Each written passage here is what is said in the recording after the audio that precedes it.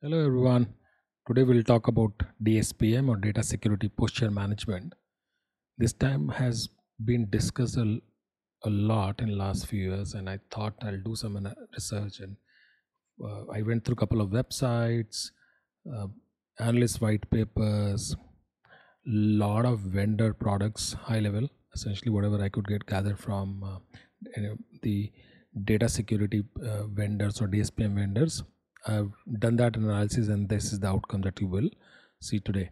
So, before we get started on DSPM, we have to understand the basics of data security.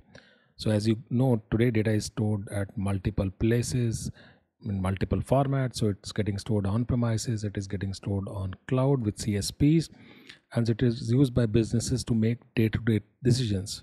For people who don't come from data security background, a very simple example could be that an online retailer often maintains a track of the goods that are sold in a particular region. They also track demographics of consumers who are buying this. So this could be age, sex, uh, and uh, area, uh, product category, etc. So example, in a particular season, there could be higher or lower sales of a particular food, and online retailers often would want to uh, have the goods available in their nearest warehouse uh, to reduce the shipping or logistic costs. Okay, so that, and then this helps them take business decision. I'm just giving a very simple example on that. Now, because such platforms or any businesses have have a critical part of data, this could include complete details of end users address. So for example my name phone number my email my home address my office address. It's very common that retailers store all this data. Okay. Now it is important for these companies or businesses to secure this data uh, from un- unauthorized access use disclosure disruption disruption modification or destruction. So hence data security is very critical for organization.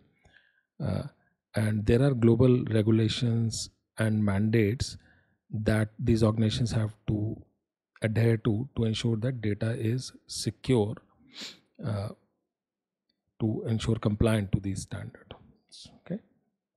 Now data security is not new. It's been there for ages.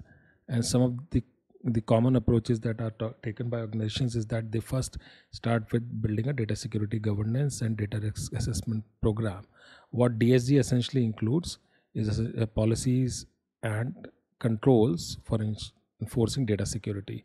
Essentially what they talk about is what is the critical data how it looks like where is it stored and who can have access to it and this would have components like doing a data risk assessment that involves identifying data assets data classification that is all about identifying and classifying data assets according to their sensitivity level. Then identifying who has access to data assets and what can they do with this data. Then identifying threats that could impact the organization's data assets understanding the risks so once these threats have been identified it's important to understand the likelihood of these threats and the impact that they can have. This helps the organization to prioritize the risks that they face. Okay? So that's the first part. The second part is the controls or tools and or uh, things like training that are important for uh, the organizations to do. So key technologies that are there for some time are data discovery platforms. Essentially these platforms scan data repositories both structured and unstructured to understand data types and their data owners. They is a technology available for data masking and obfuscation that hides the actual data using modified content uh, like characters or uh, numbers. Then there's irm information rights management that enforces information policies by allowing the author of electronic documents like word documents pdfs etc or emails to choose how recipients can use and share the information. So i can tell who can open my email or the attachment that i've uh, sent. Then data leakage prevention that prevents the accidental leak of uh, data. Database activity monitoring these platforms read audit trail or activity done in the databases and understand what is the impact of these activities. Data encryption which is all about making data unreadable for unauthorized users. Data access governance and monitoring and analytics. So essentially these platforms understand access rights and ownership across data stores. A lot of IAM vendors provide these products also. Data access management. So these essentially allow attribute based access control or ABAC. And then for last few years, data security platforms have also gotten popular. And what they do is they aggregate data protection requirements across data type, storage silos, and ecosystems. And they aggregate individual mature technologies. So most of these technologies that I've mentioned, DSPs can either integrate with them or a single DSP can provide all these technologies so that organizations don't have to look into multiple uh, products to drive their data security requirements okay? So it helps you transition from a siloed technology to one platform with most of the use cases for data security and compliance okay?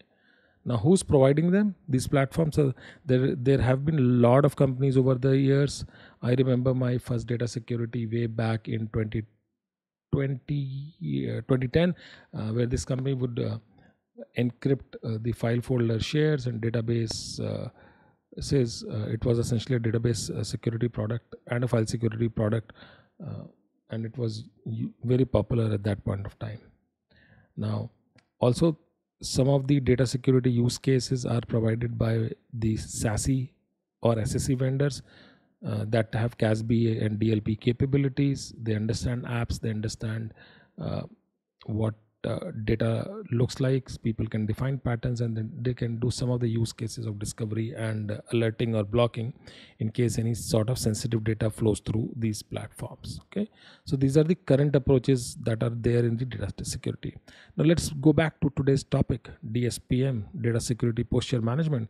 So what dspm does is it understands your data landscape and risk associated with it. What that means is what's the data?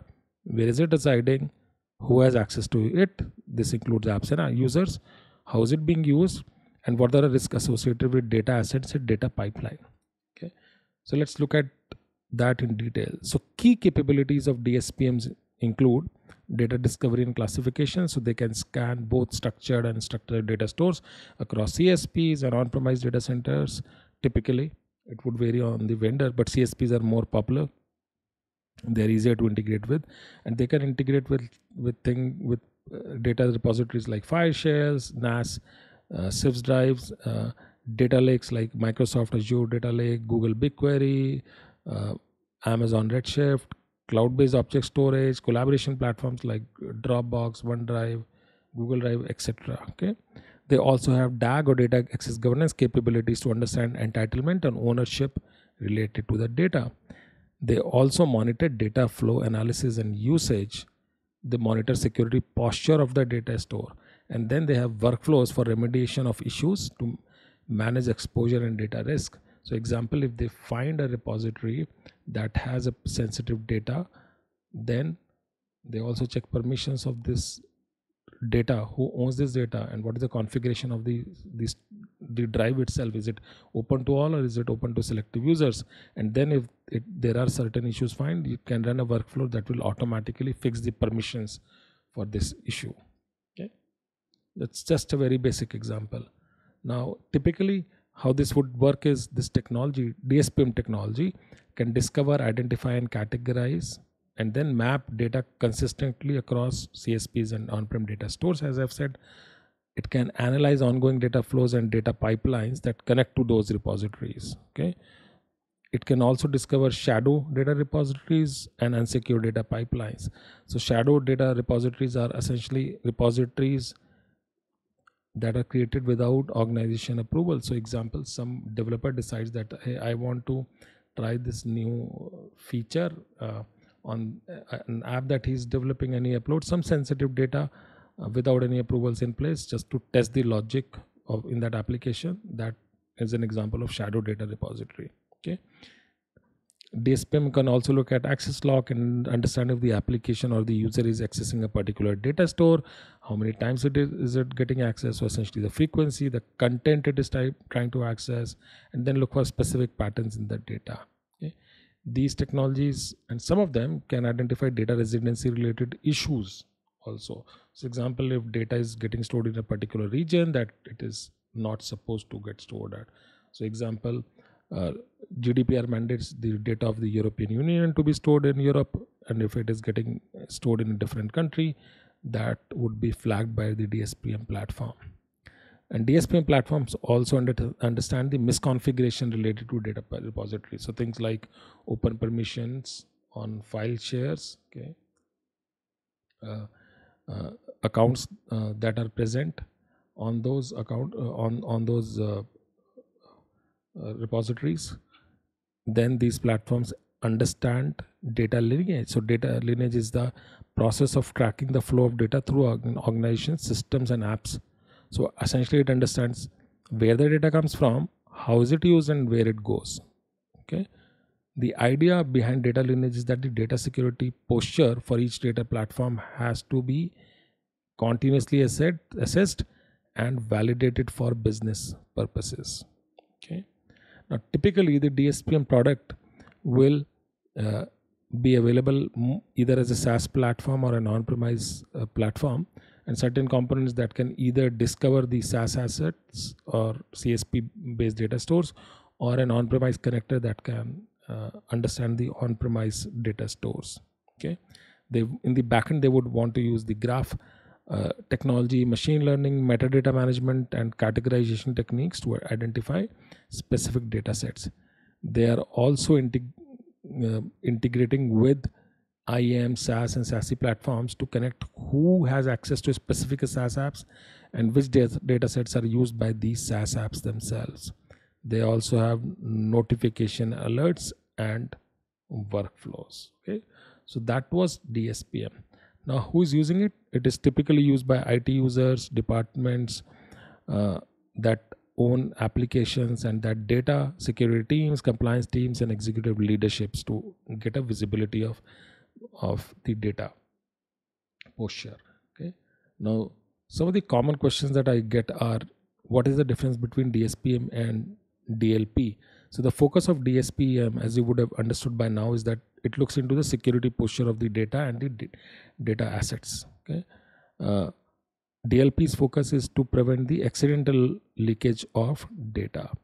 Dspm versus DSP is the second thing I get asked on. So DSP is essentially a broader term, data security platform, and it includes DSPM and other technologies like DLP for data security with eventual goal of data protection. So DSP would have multiple technologies natively or they will integrate with multiple other technologies like DSPM to give an overall data security protection uh, capability. And as you know, DSPM focuses on security posture of data assets.